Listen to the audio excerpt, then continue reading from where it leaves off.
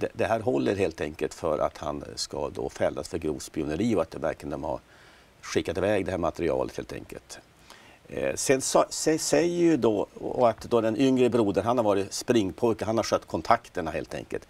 Vad man saknar det här som man normalt skulle vilja ha i, i den här typen av mål, det är att ja, vilka kontakter de har, vilken underrättelseofficer hos ryssarna, om det nu på ryska ambassaden som de haft kontakt med. Det finns ingenting sånt där och man säger ju också i domen här att eh, eh skriver man ju att eh, eh, i den här bevisvärderingen när man gör för analysen och allt sånt, innan man kommer fram till det så saknas det vissa pusselbitar eh, så man har liksom inte full visshet i alla detaljerna men tingsrätten anser ändå att det, det här håller för att fälla den äldre brodern för grovt spioneri.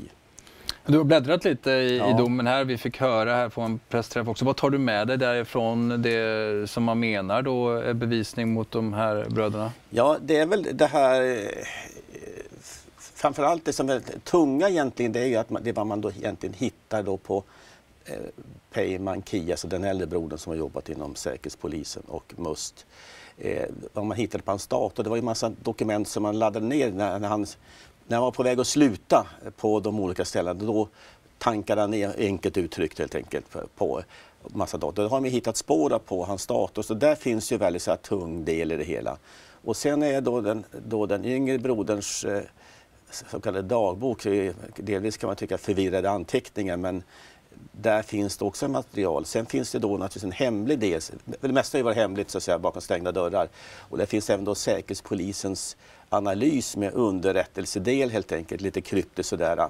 Som, där man då kommer fram till i den analysen att det måste vara Peyman Kia som har liksom tankat ut allt det här och, eh, eller då ja, tagit hand om de här papperna helt enkelt, handlingarna och sen en lillebror sen har då skött resten. Det, men liksom väldigt många delar är fortfarande liksom det, bakom, bakom stängda dörrar. Och domen ger ju heller inte eh, några avgörande eh, uppgifter i, i, i, den offentliga delen som säger att ryssarna fick det här. Det gick till den militära undertjänsten GRU. Utan det är bakom stängda dörrar. Där kan man ju leka med tanken att eh, ja, man har trots allt haft någon avhoppare från rysk sida någonstans i, i väst och den har personen läckt om att sagt att eh, eh, Sverige verkar ha något, något, något läckage helt enkelt utan att veta vem det är. För det verkar lite oklart där också om, om man från, eller det är oklart, om man från rysk sida har känt till